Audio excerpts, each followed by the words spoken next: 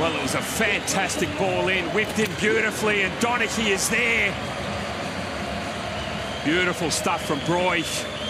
Put some extra whip on that, and Donachie absolutely capitalises on the space that he's given, launches himself into the ball,